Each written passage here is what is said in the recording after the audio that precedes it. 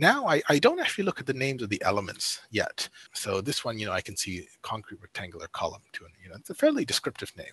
Mhm. Um, it's got a bit of funny formatting. You know, it's got some hyphens, and it's got a colon. Then I'm assuming this is millimeters. Then it's got this random number next to it. It's not random. It's the Revit element ID. Mhm. But but to an outsider, it is random, and it shouldn't be there. But more importantly than these names, I am actually going to look at the types. So Revit users will think of this as uh, uh, families, types versus instances. So types versus instances. Uh, IFC is no different whenever you browse an IFC model and you're only looking at instances, you're doing yourself a disservice because most of the juicy information is actually type based. Uh, Mhm. you know that that's where you get the list of all this all the columns you have on your project. You know what all types of columns I'm going to build because that's how they cost. Of course, we talked about classes and how you know these things are kind of generic things which are not good enough. These are the the type names, and it says a column hop hop 100 110. Okay, great.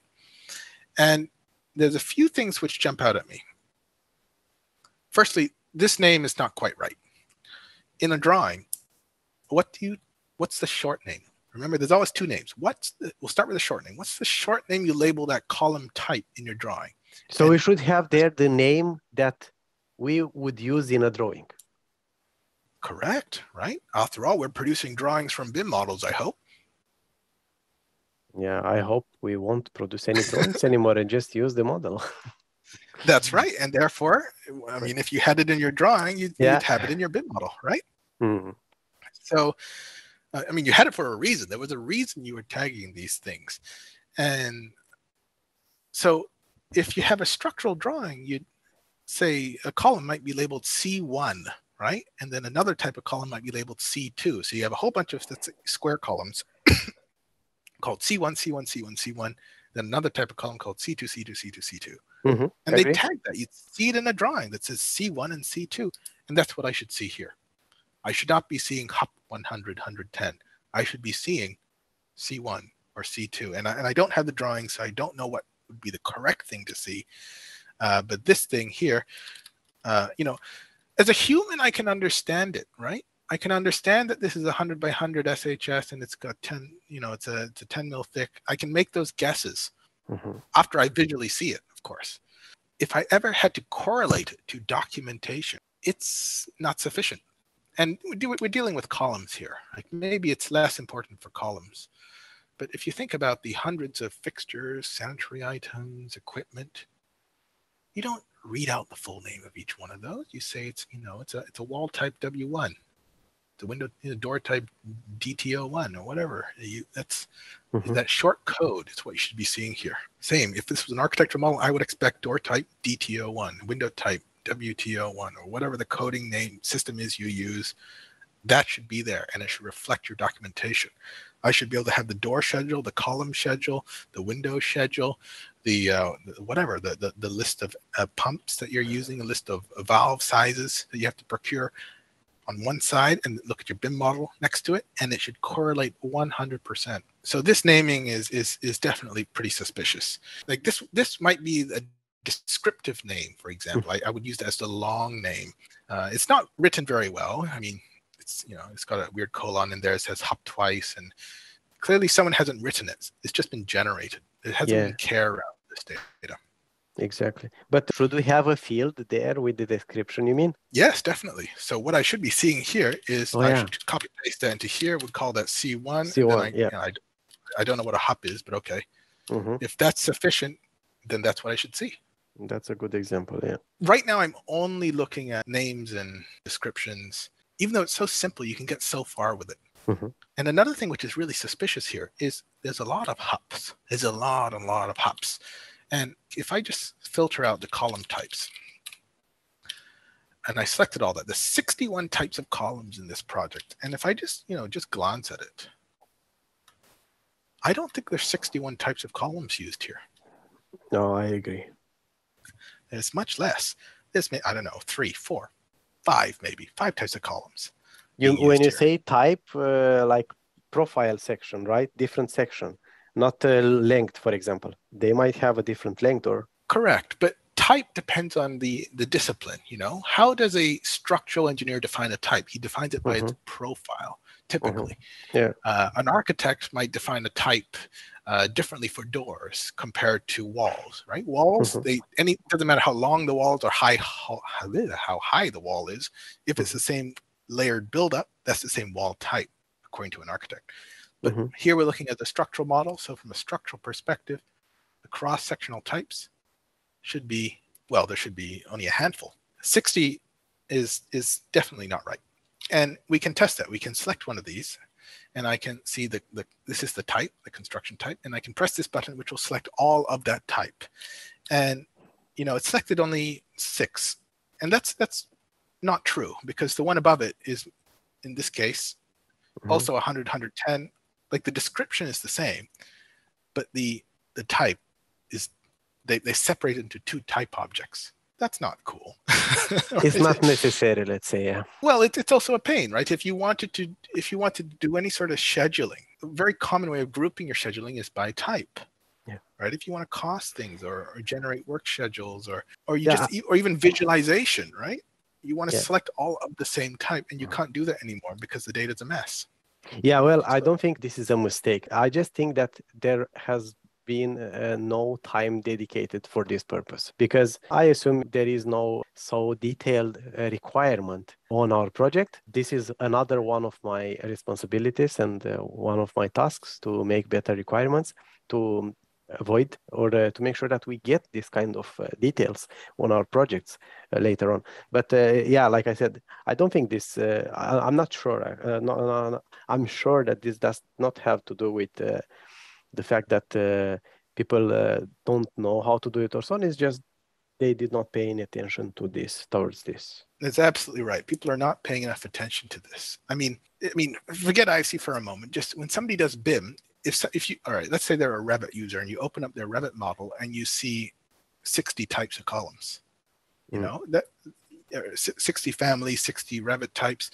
And, and let's say the project was being handed over and you've got to use their Revit model after that. You'd, you'd go, whoa, and you, you'd, you'd, you'd mark the, the red flag. You'd, you'd say this is a project risk. And so you have to clean it up to be productive. And that's because people working in a Revit environment understand they have a responsibility to maintaining a clean set of data in their Revit model. Unfortunately, as you can see, we don't yet have the discipline to do it in IFC. Yeah, without is- being a requirement. Yes, uh, everybody has the same. Like we are filling the time with stuff we do anyway, right? But as long as it won't be a requirement or a priority, it won't happen. This is just a fact. Yeah, it's a shame because somebody writes down, I want you to do BIM in a contract, and it's kind of this unwritten requirement that we expect them to Mhm. do basic things like name things right, model walls and walls. Like if you said, I want you to do BIM, Mhm. and somebody modeled it in SketchUp, imported that that uh, SketchUp model into Revit, and then saved it as an RVT file and then gave that to you.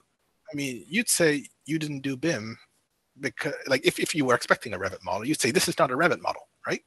Hmm. Uh, similarly, if somebody says, I want you to do BIM, and therefore we expect an open BIM model, an, an IFC, and you open it and you get this, it's a bit of a shame that we have to spell it out that yes, BIM mean actually does mean calling your walls walls and, naming your objects what Yeah. you named them in your documentation. Yeah, well, I think uh, we are just in the beginning, right? And I think this will get better uh, after all. Uh, But uh, it will take It some will time, but yeah, it will become better by nature. Yeah. So the solution here is to take all of these and, and merge them into a single column, whatever they've documented it as. And Mhm. and what's also interesting here is that, and here's a little Revit specific trick. You can see it has an attribute called tag. And this is where it stores the Revit element ID. And that's kind of like the, the well, it's the ID that Revit uses. And if I click on each one of these, they're all different IFC IDs, but you'll notice that the Revit tag remains the same. Mhm. And what that means is that this was actually not intentional. The author in Revit only saw one column. He didn't expect it to explode out from one to, uh, I don't know how many we got here, uh, however many this is, Mhm. 10, 15. He didn't expect it to generate 15. Revit did that without him knowing. And Oh, nobody used an IFC viewer that checked types, not just instances, but the actual types to, to notice this mistake. So it was not anybody's fault. If, well, actually, it is. It's not a very good export out of Revit. It's it's it's unexpected when you only have one object and it multiplies out to 15 objects when you export. Mm-hmm. And that's a, a bug in Revit. Uh, it's also described on this page. It's called the, the Revit type duplication bug. There is an issue in Revit where if you take an object and, for example, you mirror it, it's still one type in Revit, but it will duplicate to two types or, you know, four types if you mirror it along multiple Mhm. axes Mhm. to create multiple objects, even though you didn't mean to. Mhm. And this is this is Revit being conservative because if you take a table, an asymmetrical table, and you mirror it, there is a possibility that it's actually not the same type, right? You you actually procure a different product from the manufacturer because it's Mhm. asymmetrical. Sometimes yes, sometimes no. It depends on the thing. So Revit's trying to be conservative, I guess, and say that yes, this symmetrical, this completely symmetrical column, you've mirrored it. Oh, maybe it's not quite the same. Mhm. so again, uh, this leads to the file size issue as well. It doubles, triples, quadruples. In this case, we're getting 15 times the file size Yeah. just for this column. There is actually a quick little fix for this. There's this um, little, again, the quality control panel. We're going to see a lot of this panel today. There's this uh, patch panel, which you choose the merge duplicate types by tag option. And if you select this, and I've already done it here, this, this patch model, and you just press that and you wait a little bit, it will do its best to merge these duplicate types. It can't do a perfect job because it is a bit of a complex operation. Um, Mhm. By the way, any any coders watching this, if they want to help, see if they can do a better job, please please do. It's all open source. It makes an attempt to merge these, and hopefully after we do that, we'll see uh, uh, less than 60 was it 60 something columns we saw. So it's done. Let's just load in that patched version, and we'll see what we get. So again, this time I'm going to be lazy, and I'm just going to filter out any any proxies. Okay, here we are. So this column, if we select by the same type, you can see all of these have the same type. Interestingly, a few of these do not, and we can just confirm that. So the one at the bottom is a HUP 150, 110. The one at the top is 100, 110. Great. So, so it, it's done it correctly. So all of these have the same type.